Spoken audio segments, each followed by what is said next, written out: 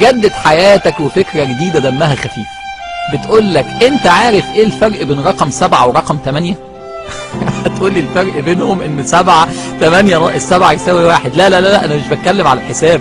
أنا بقول لك تيجي نبص لهم يعني اقف من ناحية رقم سبعة. هتشوفوا كام؟ سبعة. طب اقف من الناحية التانية هتشوفوا كام؟ تمانية.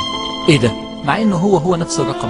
بيقول لك إن كان في اتنين اتخانقوا مع بعض واقفين قدام بعض وقدامهم رقم سبعة مكتوب قدامهم. فالأولاني قال ده سبعة التاني قال له لا ده تمانية. الأولاني قال له والله العظيم ده رقم سبعة. التاني شايف من الناحية التانية قال له والله العظيم ده رقم تمانية. كان حلها إيه؟ كان حلها إن واحد ياخد التاني من إيده ويقول له ممكن تيجي تشوفه من ناحيتي؟ فلو راح شافه من ناحيته هيقول له آه ده من ناحيتي كانت سبعة لكن من ناحيتك كانت تمانية. قصة بسيطة قوي. عايزة تقول لك إيه؟ قبل ما تحكم على الناس بص لوجهة نظرهم. شوفها من عندهم. المعنى ده مهم قوي يا جماعة. أشطر واحد فينا عايز يكسب الناس اللي يشوف إيه المناطق المشتركة بينه وبين الناس اللي يتكلم معاهم فيها.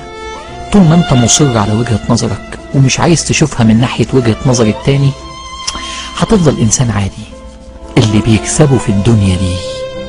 اللي يعرف إزاي يفهم وجهة نظر التاني أقدر أتحالف معاه في اي حتة. مش لازم توافق على كل وجهة نظره لكن على الأقل على الأقل تبقى عارف هو جاي منين فتعرف تتعامل معاه. هي سبعة بقى ولا تمانية؟ هي حسب أنت شايفها منين. من فضلك شوفها من الناحيتين عشان تكسب الناس. جدد حياتك وفكرة جديدة